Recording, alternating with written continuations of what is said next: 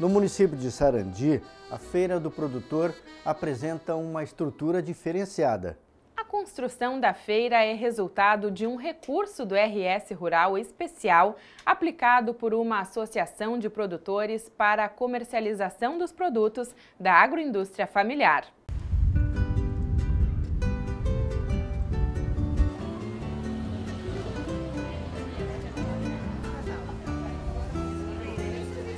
Quando se fala em feira do produtor, imagina-se um espaço ao ar livre, cheio de produtos agrícolas. Mas aqui no município de Sarandi, a estrutura é diferente.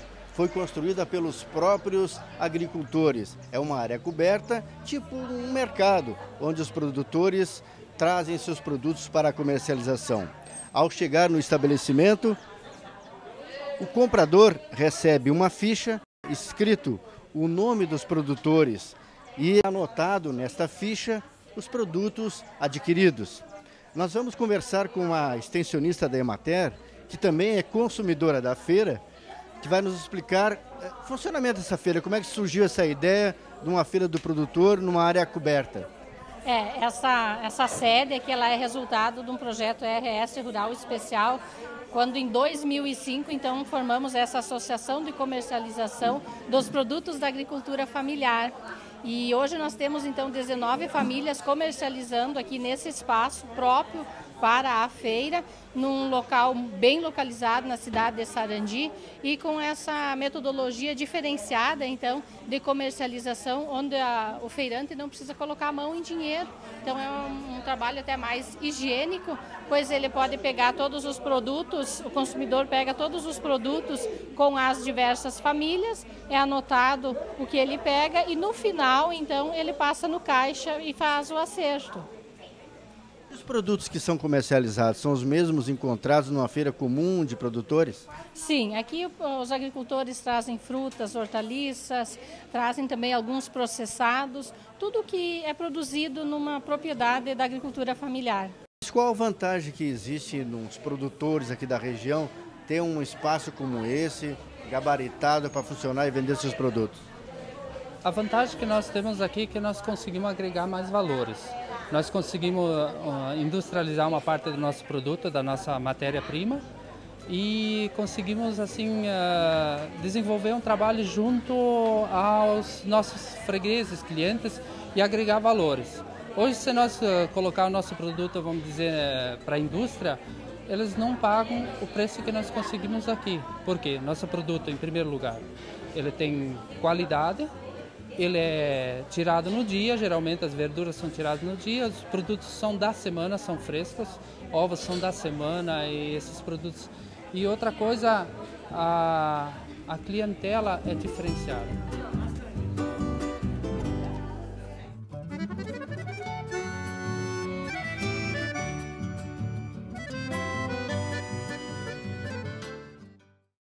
Passo a passo para fazer a silagem de milho foi solicitado por uma telespectadora do Rio Grande Rural. E a nossa equipe foi buscar a resposta com o técnico Carlos Todeschini.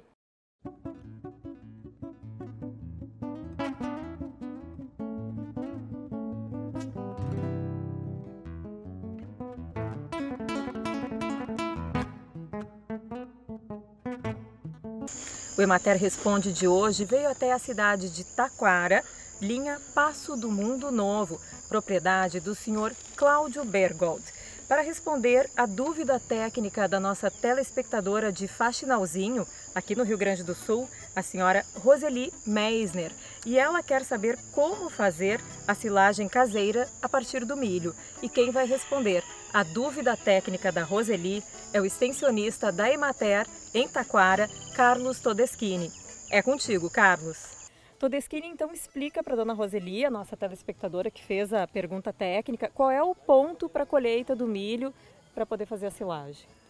Dona Roseli, uma boa silagem se faz com a colheita do milho com 60% de umidade aproximadamente, ou seja, traduzindo em palavras práticas, quando eu colhi o material triturado e eu apertar e ele desagregar, ele não ficar amontoado ou agregado, é porque nós já estamos no ponto de umidade ideal.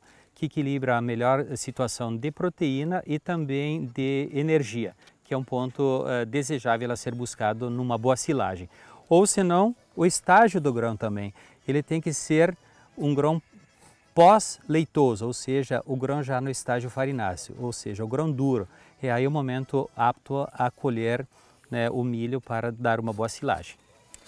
E me explica uma coisa, Carlos, por que a necessidade, do ponto de vista nutricional, desse ponto exato para a colheita? Porque aí nós vamos ter uh, o balanço ideal de energia, o balanço melhor de proteína e nós vamos ter uma facilidade de todo o manejo, né, evitar que nós tenhamos, por exemplo, uma umidade excessiva se ele for colhido antes do ponto e aí ter problemas na fermentação ou se ele for muito avançado, nós teremos uma perda muito grande da quantidade de proteína. Por isso esse estágio de 60% é quando ele firmou o grão, ou seja, quando ele chegou ao estágio farináceo. Esse é o ponto ideal da colheita.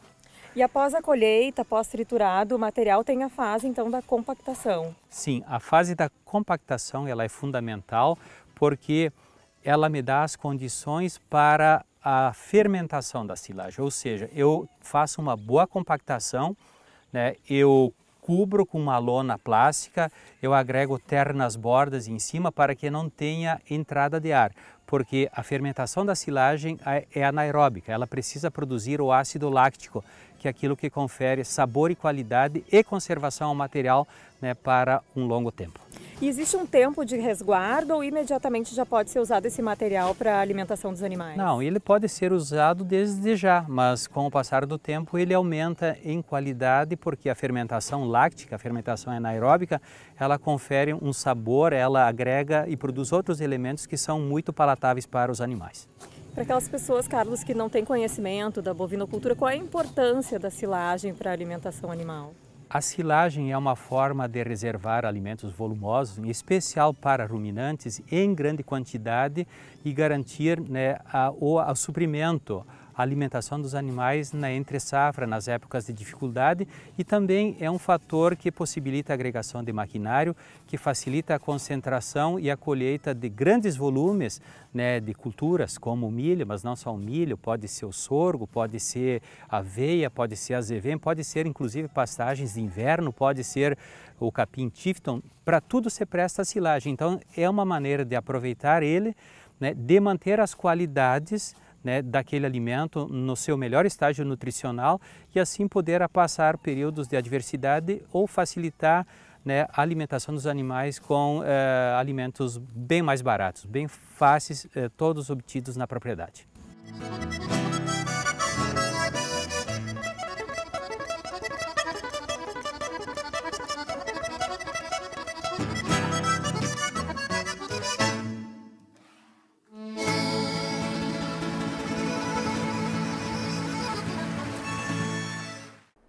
Instituto Brasileiro de Geografia e Estatística, o IBGE, abriu inscrições para o processo seletivo de contratação temporária para o Censo Agropecuário 2017.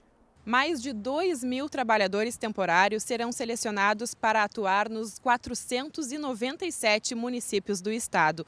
Luiz Eduardo, como é que vai ser essa seleção?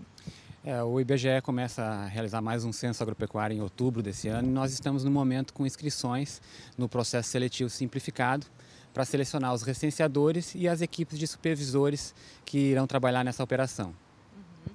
É também uma oportunidade para jovens rurais né, do campo para se candidatarem a essas vagas.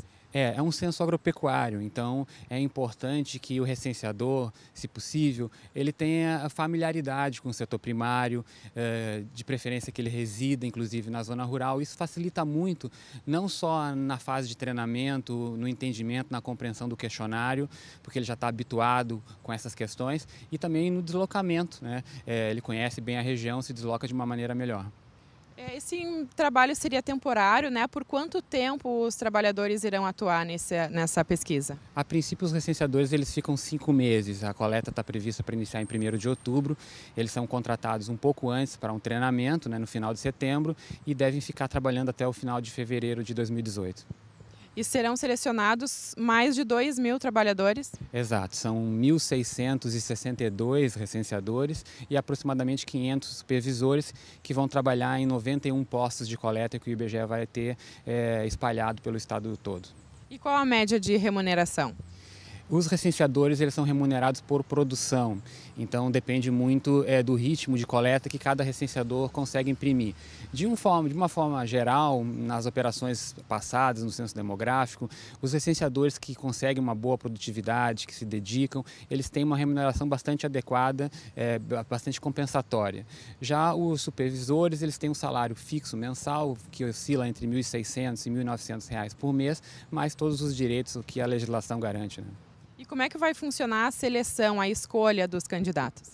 É, então eles precisam se inscrever no processo seletivo.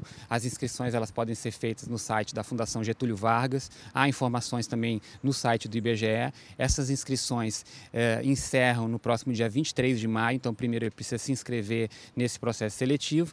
Depois no mês de julho há uma prova e em função dessa prova então aqueles que ficarem classificados vão ser chamados para o treinamento no final de setembro e para a coleta a partir de outubro. Eu estou aqui com o Cláudio Santana, coordenador do Censo Agropecuário. Cláudio, o que é o Censo Agropecuário e qual a importância disso? O censo é uma varredura, ou seja, nós vamos a todos os estabelecimentos agropecuários e fazemos diversas perguntas. Em nível Brasil, nós estimamos que seja em torno de 5,3 milhões de estabelecimentos agropecuários. E aqui no Rio Grande do Sul, 425 mil. A importância do censo é que ele dá um retrato atual de como que está a produção primária do país. Nós perguntamos sobre a estrutura da propriedade, tamanho da propriedade, a pecuária que é desenvolvida nessa propriedade, lavoura, perguntamos sobre pessoal ocupado, sobre receita, sobre despesa, sobre agroindústria rural, enfim, uma gama de perguntas que vai dar um novo retrato da produção primária no país.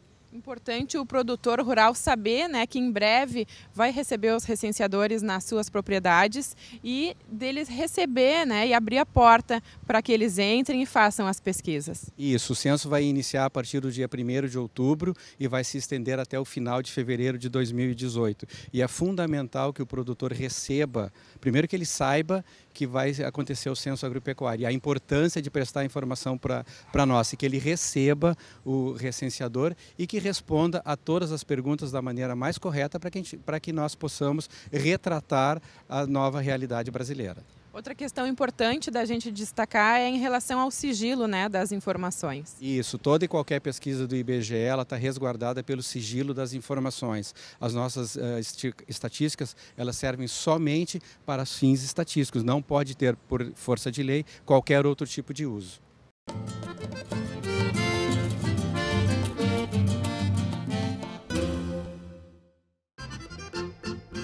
Quilo vivo do boi para abate foi comercializado nesta semana a R$ 4,86, com aumento de 0,62%. O quilo vivo da vaca para abate foi vendido a R$ 4,27, sem variação.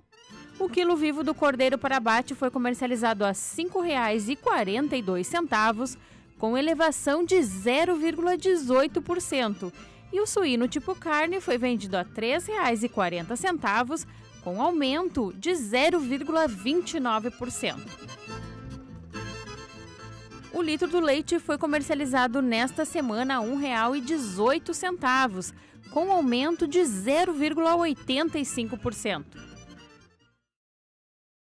No próximo bloco, no quadro Janela Rural, a importância do produtor recuperar áreas degradadas na propriedade e o cultivo de verduras hidropônicas em Bagé. A gente já volta.